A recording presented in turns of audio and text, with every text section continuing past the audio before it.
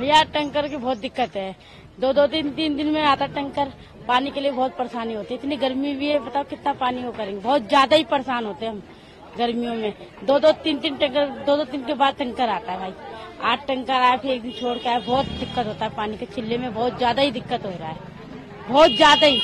और गरीब आदमी क्या करेगा बताओ? कितना पानी पिएगा मोल?